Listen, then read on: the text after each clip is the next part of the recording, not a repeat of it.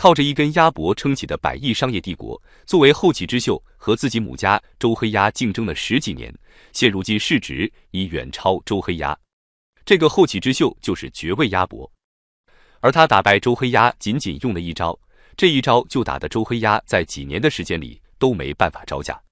绝味鸭脖是如何做到的呢？讲述原创商业创始人故事，传播商业智慧。本期子牙童趣创始人观察给您讲述绝味鸭脖戴文军的故事。一九六八年，戴文军出生在湖北武汉，他的前半生走的是精英路线，大学读的是经济管理学，毕业后就在一家药企担任市场经理。在上个世纪九十年代，已经是想都不敢想的人生梦幻开局。任谁也想不到，平时总是西装革履的戴文军。怎么会放弃了体面的工作和稳定的收入，一头扎进了鸭脖生意中？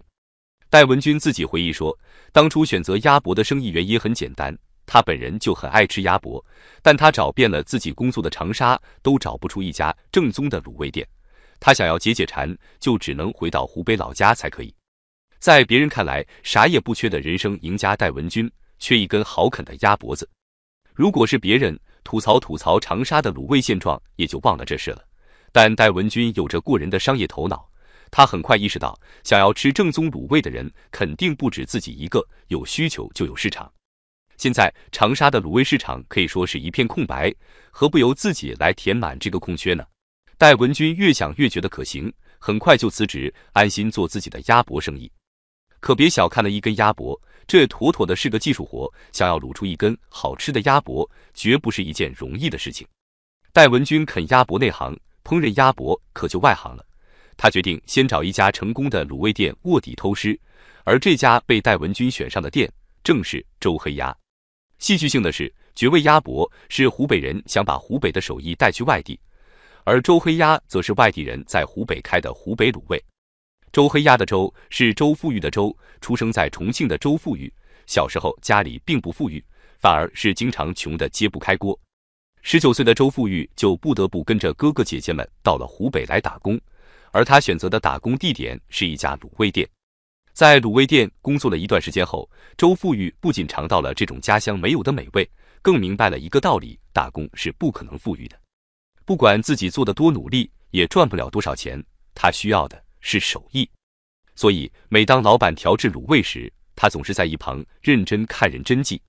一九九五年时，周富裕觉得时机已经成熟，在一个菜市场里摆了一个卤味摊，做了个小老板。周富裕青出于蓝而胜于蓝，味道比老板做的还要受顾客的欢迎。周富裕也给自己的鸭货取了个名字叫“怪味鸭”，这就是日后周黑鸭的原型。一九九七年时，周富裕也拥有了一家属于自己的卤味店。有人模仿我的脸，有人模仿我的鸭，和成功一起到来的，还有层出不穷的模仿与抄袭。市面上开始卖怪味鸭的越来越多。周富裕想了一招：你们可以叫怪味鸭，但总不能跟着我改姓周吧？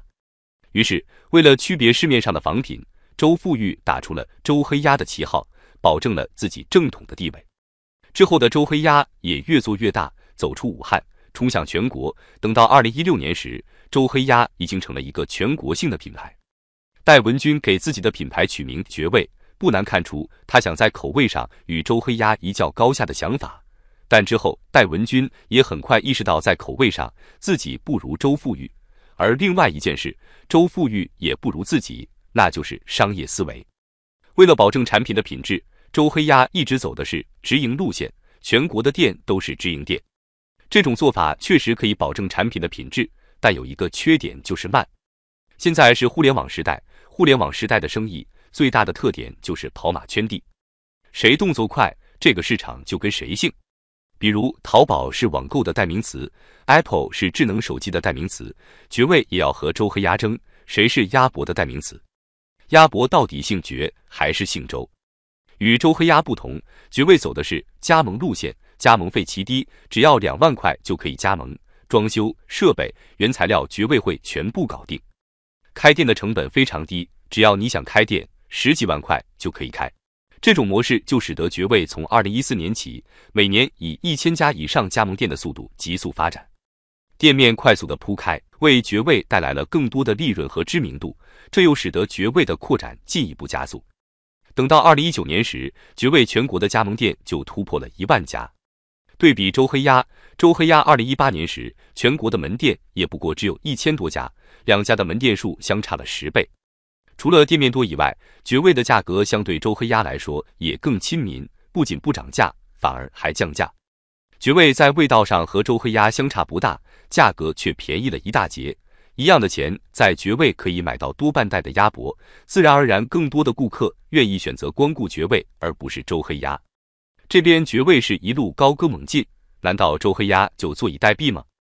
在戴文军靠着加盟的模式越做越大的时候，周富裕也很心动，也尝试过加盟的模式。可才开放了加盟模式没多久，产品质量就出了问题。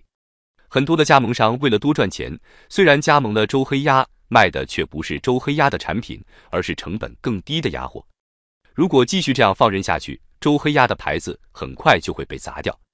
周富裕又不得不高价回收了这些加盟店，继续直营店的模式。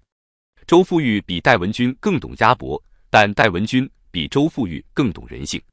周富裕想要把周黑鸭的牌子做大做强，可加盟商是来赚钱的，如果不让加盟商赚够了钱，加盟商是不可能好好配合的。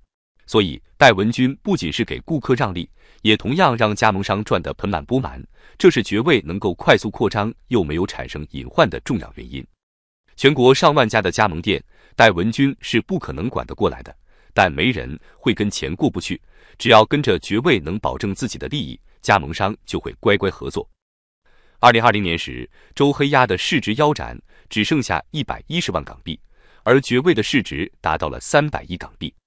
周富裕明白此消彼长的道理，再这样下去，鸭货市场自己恐怕连个容身之地都没有，这才不得不再次启动特许经营的模式，允许加盟。虽然在绝味市值已经达到五百亿的今天，周黑鸭与绝味的差距越拉越大，但周黑鸭的自救还是起到了一些作用。